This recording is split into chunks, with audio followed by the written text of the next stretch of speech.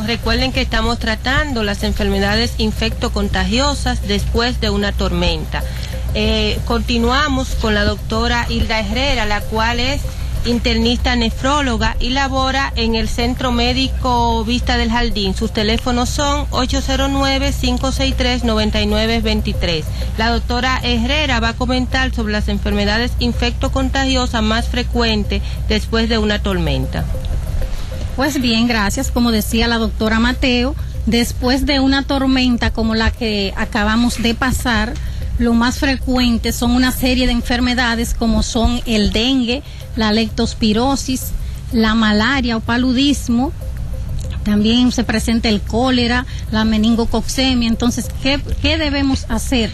Debemos estar atentos porque, por ejemplo, es muy frecuente el, de, el dengue. Este es producido por los mosquitos es el mosquito Aedes aegypti y esta es una enfermedad febril que se presenta de forma súbita. Es muy frecuente presentar cefalea con dolor retroorbitario.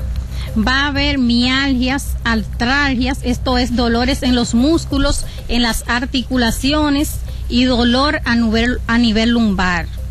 Es muy frecuente que se presente una erupción en la piel esto se presenta generalmente luego de la segunda etapa. Por ejemplo, hay una, un periodo de incubación que va desde 2 a 15 días, pero es más frecuente a los 5 u 8 días.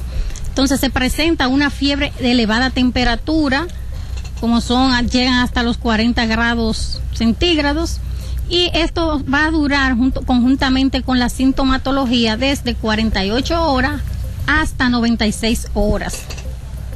Luego de este periodo, entonces, viene una fase de desfervescencia, donde la fiebre disminuye.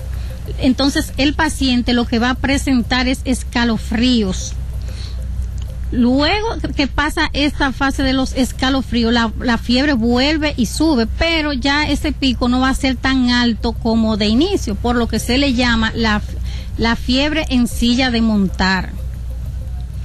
También es frecuente, luego el dengue generalmente es benigno, pero ocurren complicaciones. Cuando ya se presenta la fase hemorrágica, esta que generalmente se presenta en niños menores de un año, Aquí los niños van a presentar también la fiebre, va a ser también una forma súbita y generalmente van a presentar faringitis y se van a, quejar de dolor abdominal. En este caso, cuando ya se torna hemorrágico, vamos a tener, el paciente va a tener manifestaciones hemorrágicas, como son las equimosis, las petequias, ustedes van a ver cómo estos pacientes presentan una erupción parecida a las picaduras de los mosquitos y luego se van haciendo más grandes, se presentan las equimosis como si se hubiesen dado golpe. Entonces, ¿qué debemos hacer? Estos pacientes deben ir inmediatamente cuando comienza la fiebre. Usted ve que un paciente tiene fiebre, que no cede, ya tiene dos días con fiebre y usted no le ve la causa. Usted tiene que llevar ese niño al médico, cualquier adulto también que en este momento se le presente fiebre. Hay que hacerle un hemograma. Y dependiendo de todas las demás cosas a la evaluación, pues claro, se van a seguir haciendo los otros análisis.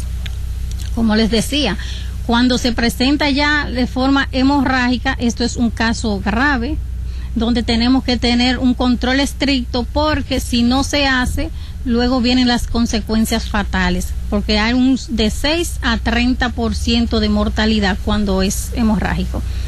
Señores, vamos a ir a una pausa y en un momentito vamos a continuar con el segmento salud de su programa Conexión Tecnológica. La Secretaría de Estado de Salud Pública recomienda a la población tomar medidas preventivas para evitar el brote de enfermedades tras el paso por el país de la tormenta Noel. Es necesario reservar la mayor cantidad de agua potable posible en recipientes limpios y debidamente tapados, la cual deberá ser hervida durante un minuto después que haga burbujas. En caso de que el agua no se pueda hervir, se deberá añadir 5 gotas de cloro líquido a cada galón de agua almacenado para consumo humano y esperar 45 minutos antes de ser ingerida. Para un tanque de 55 galones, se debe añadir una cucharadita de cloro granulado, mientras que para una cisterna de 1000 galones, la medida será de una cuchara sopera.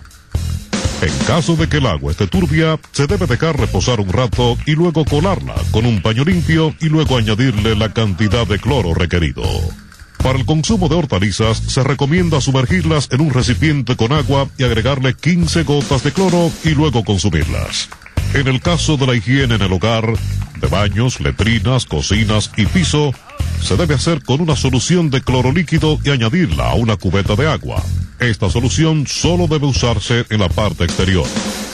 Es recomendable consumir los alimentos cocidos dentro de las siguientes cuatro horas de su preparación para evitar que se contaminen. También, tras el paso de un fenómeno natural, la población debe evitar almacenar alimentos preparados. En el caso de los alimentos enlatados, se debe evitar consumirlos en latas que estén chocadas, oxidadas y abombadas y fijarse que no tengan una fecha vencida. Para los niños menores de seis meses se debe mantener la lactancia materna y evitar el uso de biberones, aunque el infante esté afectado de diarreas u otras enfermedades. En cuanto a los desperdicios en los hogares, las autoridades de salud recomiendan a las amas de casa que coloquen los mismos en fundas plásticas debidamente cerradas y colocarlas en las aceras. Nunca tirarlas sueltas para evitar el brote de mosca, mosquitos, ratones y otros insectos que producen enfermedades infecciosas. En los casos que se carezcan de fundas plásticas, se recomienda colocar la basura doméstica en un tanque con tapa. Los árboles que han sido derribados por los vientos de la tormenta deberán ser cortados y colocados en las aceras para que no obstaculicen el paso del agua por las aceras. Recomendaciones de la Secretaría de Estado de Salud Pública, CESPAS y Radio Educativa Dominicana, Red FM. Desde el descubrimiento de la energía atómica hasta la investigación de la luz láser, cuyas ondas perfectamente concentradas han producido grandes beneficios en la tecnología moderna, así es Conexión Tecnológica, su contacto con el mundo de la ciencia y la tecnología